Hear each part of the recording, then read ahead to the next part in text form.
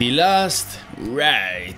Ha llegado la hora de analizar el segundo capítulo y antes de empezar tengo que agradeceros a todos vosotros por apoyar a muerte. El análisis del capítulo 1 ya tiene como más de 15.000 likes, así que como os comenté, para estos vídeos analizando esta serie de documentales, la meta de 10.000 likes en este vídeo, así podemos llegar a esa cantidad de pulgares arriba. Y también muchos me preguntáis dónde se puede ver el documental. Única y exclusivamente se puede ver en la WWE Network. Eso sí, es una grandísima pena que no subtitulen el documental en español Coño, ya sé que traducirlo quizá es mucho trabajo, pero joder, al menos subtitularlo en español. Que coño, la OWE tiene un gran mercado hispano, pero parece ser que muchas veces les da la espalda y no se preocupa mucho por ellos. Así que bueno, dicho todo esto, empecemos a comentar este documental. Bueno, el documental comienza con el Undertaker junto a su esposa Michelle McCool repasando su infame lucha en el evento central de WrestleMania 33. Undertaker dice que se siente muy mal por Roman Reigns y que él mismo se siente muy decepcionado, ya que él siente que no entregó el nivel que el público esperaba. Repasan especialmente aquel botch del Tombstone Pile Driver. Vemos a Taker muy molesto viendo ese clip y en general quedó muy satisfecho después de esa lucha. Dice que necesitaba una redención por esa actuación en WrestleMania 33. Big Show comenta, cuando el hombre muerto dejó la chaqueta y el sombrero, eso simbolizaba el trabajo del Undertaker. Shane McMahon admitiría que en ese momento en los bastidores se puso a llorar y que incluso su hijo le preguntó, hey papá, ¿estás bien? Michelle diría lo siguiente, Undertaker rompió el personaje por primera vez en 30 años y me dio un beso en vivo. Esa fue la única señal para mí de que mi marido ya se había retirado.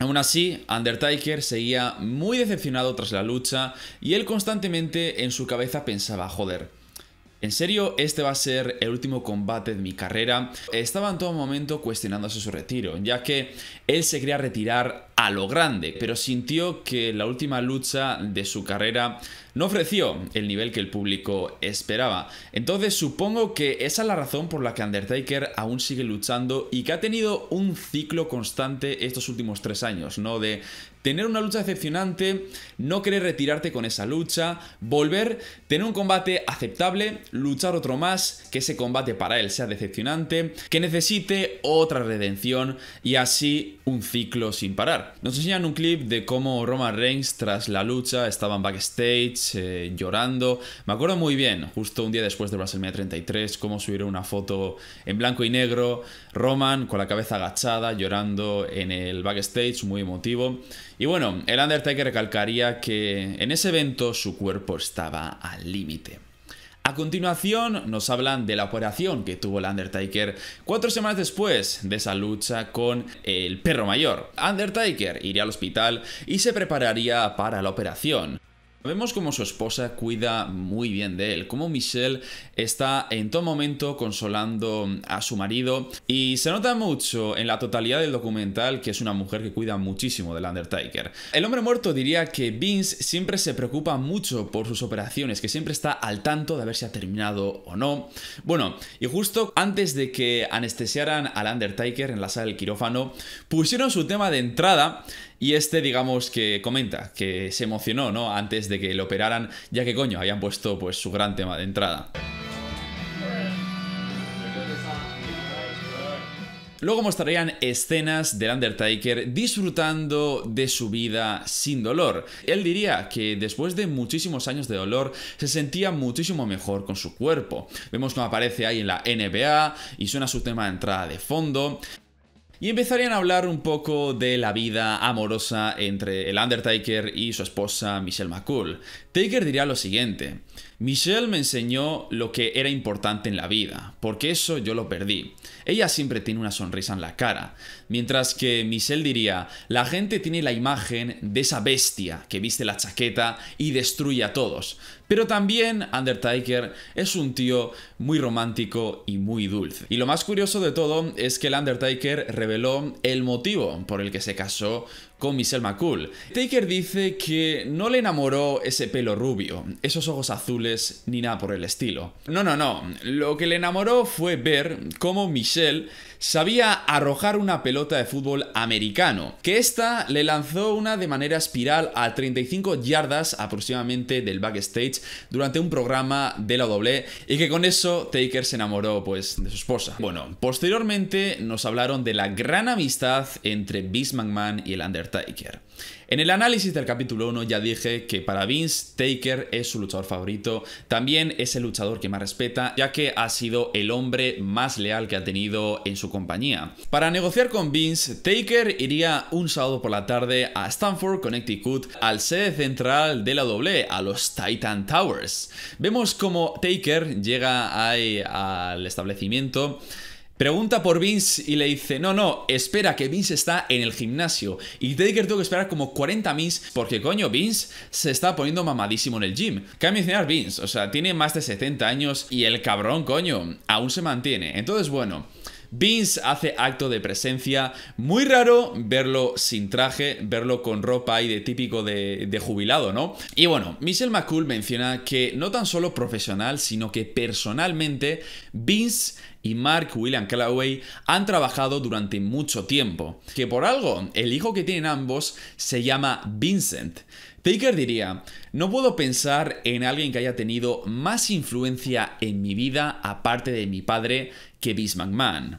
Batista diría lo siguiente, Taker siempre estaba al lado de Vince, era su mano derecha, y mientras tanto nos iban presentando escenas en backstage en donde Vince y Taker están conversando, se abrazan o lo que sea, de diferentes años, de diferentes épocas. Big Show diría, son como dos compañeros de guerra que se protegen el uno al otro. Y sin dudas, yo creo que lo que verdaderamente le hizo a Vince apreciar tanto al Undertaker es lo que mencionarían posteriormente y es que durante los Monday Night Wars muchos se fueron pero Taker se mantuvo leal. Él se quedó en la W trabajando para Vince y no se fue a la competencia por más dinero. Nos enseñarían la pipe bomb que tuvo Undertaker en un episodio de Raw a finales de los 90 en donde este dijo que la gente se fue por más dinero a la competencia, pero que él seguiría en la W, una promo muy poco hablada, la verdad, y que es al fin y al cabo como una pipe ¿no? Como la que hizo CM Punk, pero metiéndose con los tipos que se fueron en los 90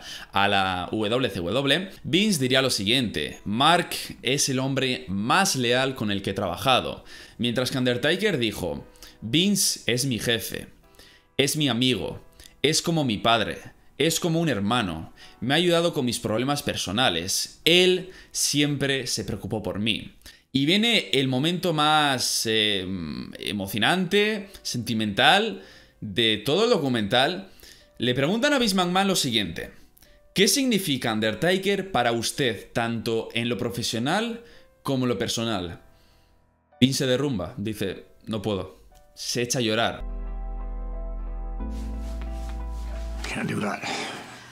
O sea, muy pocas veces vas a ver a Vince tan humano llorando de esa manera, tan tan sentimental, tan triste. De verdad que esa escena me, impactó muchísimo. Bueno, después de mucho tiempo de espera, al fin Vince McMahon sale del gimnasio y ya llegan a una oficina en donde Vince y Taker charlarían en los Titan Towers acerca de su futuro. Undertaker dice que se encuentra bien sin luchar, pero que si algún día lo necesita, que entrenará y que allí estará. Sobre todo lo que Taker recalca es que le parecía increíble en plan, un sábado por la tarde y aquí estoy en la sede central con el presidente de la doble hablando, que realmente muy pocas personas dentro de la doble podrían llegar a hacer eso, ¿no?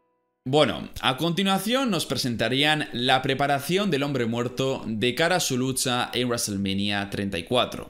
Vemos como cuatro meses después de hablar con Vince McMahon justo en el Red Rumble del año 2018, Taker entra a la arena, como él mismo dice, se encuentra al legendario Kurt Angle, me gusta mucho la amistad entre ellos dos, muy infravalorada su lucha en No Way Out del año 2006, bueno, vemos como este también conversa con Ric Flair y dice que se encuentra mucho mejor que antes, es ahí que entra en la oficina de Vince McMahon y vemos un cartel que pone prohibido fumar, luego hay una taza de café y un lápiz.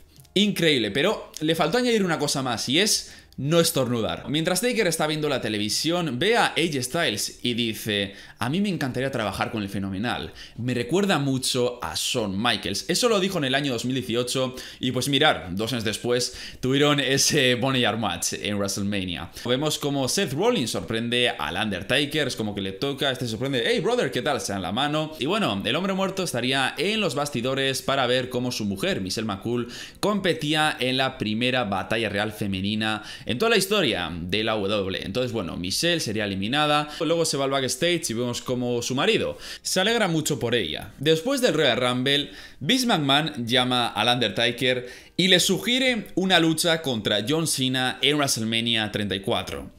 Taker duda con la propuesta, pero tras ver de nuevo la lucha con Roman Reigns en WrestleMania 33, el cambio de opinión. Undertaker dice que en ese combate se sintió lento y que no era el verdadero hombre muerto. Como lo he dicho al inicio del vídeo, Undertaker estaba muy decepcionado y básicamente yo creo que lo que sentía era que no quería retirarse con esa última lucha ya que no entregó el nivel que el público esperaba y probablemente lo que él querría sería retirar en un combate en donde pudiera dar el 100% y entregar al público el nivel que esperaban. Entonces, la W le enviaría un ring a su casa Taker comprobaría si realmente estaba listo. Entonces, bueno, estaré ahí unas semanas entrenando y justo para los días de el Mission Chamber, Undertaker ya estaba totalmente confiado y listo para enfrentar a John Cena. Entonces, bueno, vemos a Taker entrenando ahí a tope, mucho cardio, ahí rebotando en cuerdas, tomando bumps, y se le ve muy motivado, muy animado. Y pasan a John Cena, esa gran promo que tuvo en Monday Night Raw.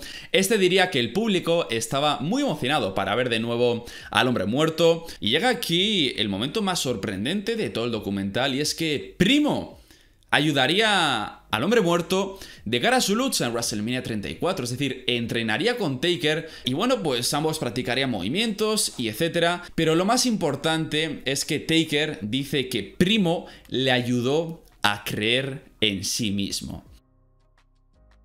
Llegaría el día 8 de abril de 2018, WrestleMania 34, Nueva Orleans, Mercedes-Benz Superdome. Undertaker dice, es probablemente la mejor versión de mí desde la primera lucha con HBK en WrestleMania 25. Realmente se sentía muy pero que muy confiado. Diría que mañana será la última lucha de su carrera, que todo terminaría, pero que quería igualar las expectativas y retirarse a lo grande. Y Taker sigue luchando. Entonces, yo creo que fue eso, ¿no? Como quería este combate con Sina, porque el del año anterior le dejó muy decepcionado. Y quería retirarse con ese combate con Sina, pero igual al verse tan bien, seguiría luchando. En Arabia tuvo ese ultra mega dreamas de Hermanos de la Destrucción contra DX que decepcionó y de nuevo entró en ese ciclo de tener que buscar esa redención y otro combate más en donde entregara un gran nivel. Hablan del único combate que tuvieron John Cena y Undertaker antes de WrestleMania 34, que fue en Vengeance 2003, que por cierto, esa noche fue cuando la moto de Taker bocheó ahí, que, que no arrancaba. Y bueno, llevan al Undertaker a la arena, oculto en ese vehículo, muy al estilo Edge en Royal Rumble para que el público no supiera que Taker iba a estar en el show. Y nos hacen unos highlights del combate entre el hombre muerto y John Cena, WrestleMania 34. Como siempre, lo que aprecio en este documental, los diferentes ángulos de cámara, muy cinematográfico. Eso para cualquier espectador es de apreciar. A mí, pues, oye.